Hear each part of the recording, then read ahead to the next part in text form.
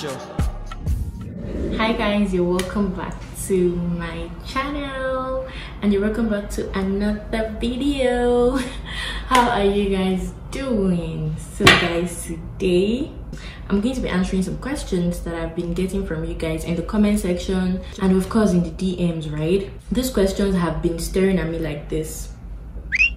Answer me yeah and i'm going to be answering all the questions today for you guys right? I believe these questions or the answers i'm going to give to these questions based on my experience because i'm not a consultant a relocation or immigration consultant right?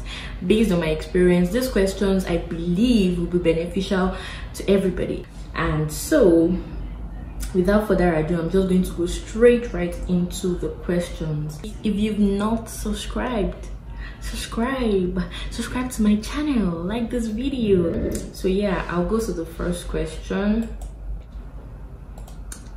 This person said congratulations. How many luggage bags are you able to go with? I am seeing three and hand luggage. Oh well we are allowed to go with two big boxes that should not exceed 23 kg and one hand luggage box that should be between 8 to 12 kg depending on the airline that you're going to use or you're using of course. Please try as much as possible to make sure that your two big boxes should not be more than 23 kg.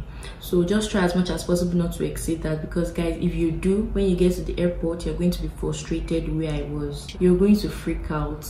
So just try to make sure everything is in check weigh your bags before you leave in the house because once you get there and your bag exceeds 23 kg you have to take stuff out you have to reduce the weight right? And you, trust me it's not something you want to do because you might have one that is probably like 25 and you might have the other bag probably like um 22 so you might have to be shuffling shuffling shuffling. Oh no. Don't do that. Don't do that sis. The hand luggage box of course you can put um anything clothes books anything inside apart from perfumes creams stuff like that. Um i think mugs ceramic.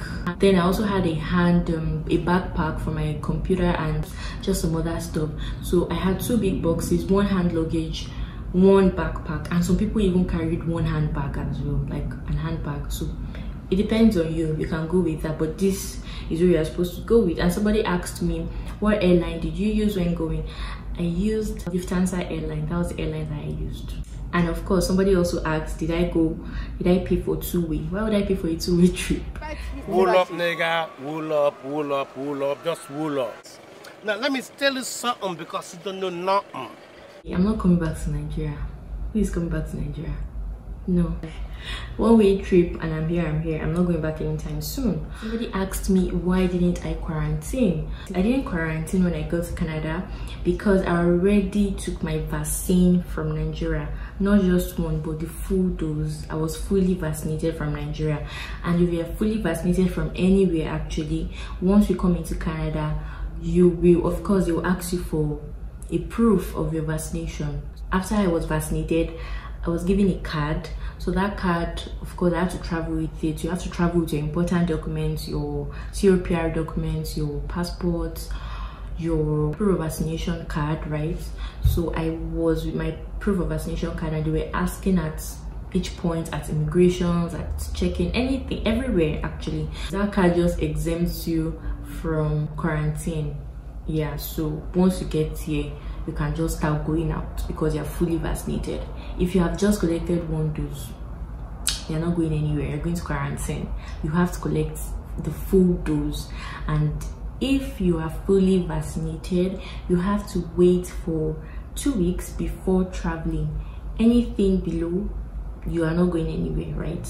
So you have to wait for the full two weeks after then then you can now travel. I think it is worth it to get vaccinated before coming so that you don't have to be in quarantine and you can start going out whenever you want to right? Somebody said where did i get pomo from? Was it from the african store?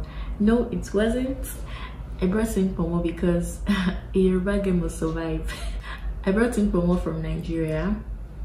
Yeah it was in my box I wanted to cargo. I know, I don't know if you guys know some. I don't know if you have just come to this channel for the first time, but if you are with me here, you would know that I cargoed some things from Nigeria here, I was not allowed to cargo Pomo because they told me that that is a contraband. So I was like, okay, I'll travel with it, and I traveled with it. Another person said, did you fly straight to Calgary? And also, did you go for study?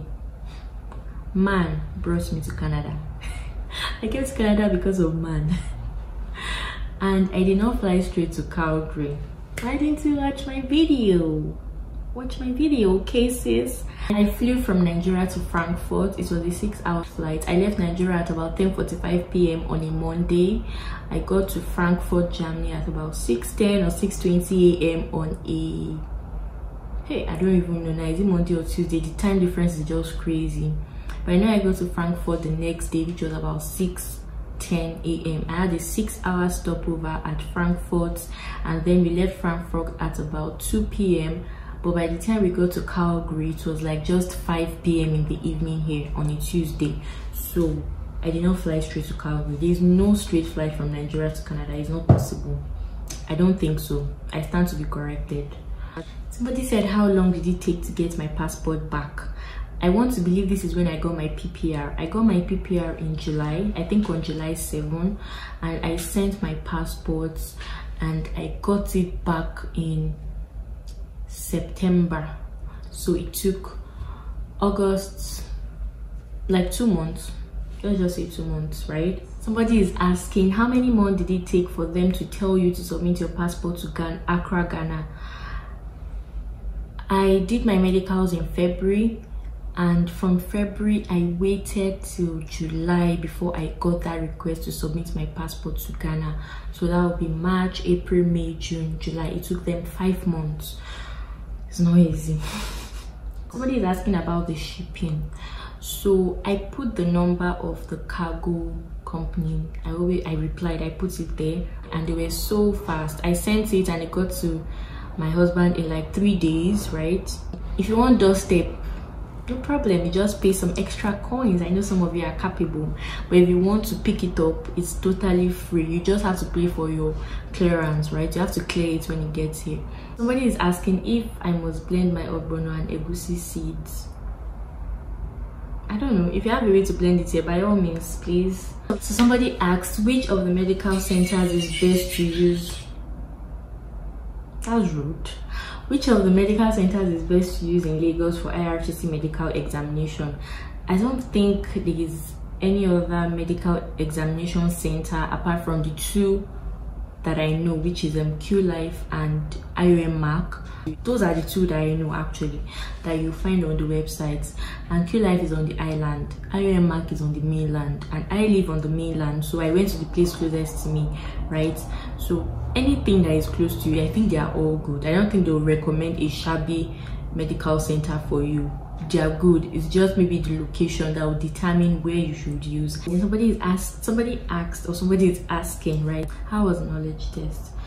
Well it's a computer-based test. It is not time bound you have 30 questions and you have to pass 25 right? If you do not pass 25 you're going to fail it and you have to write it again. So for each time you write it you have to pay 20 dollars to be able to write it. So if you fail it you have to pay 20 dollars again and you can write it every day. You can write it two times three times a day but you can write it every day right? So if you fail today you can write it tomorrow. And that was how that was what happened to me. But i failed I think on Thursday I went on I went again on Friday and then on Saturday and then I passed. And the questions are not really what you're used to, especially if you're coming from where I'm coming from Nigeria. So you have a book that has all the information to read on. It's a lot, but trust me, if you read it, you're fine.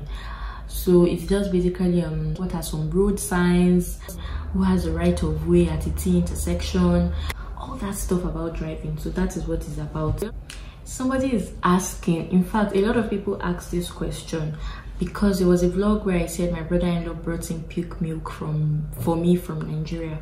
And the person said you said your brother-in-law brought milk for you. Is milk allowed in the aircraft? I thought it wasn't allowed. Like i mean milk and milo or Bournvita just want to be sure please. He brought it. That is all i can say. He brought it. Period Somebody said you did not even show us your brother that you guys went to pick.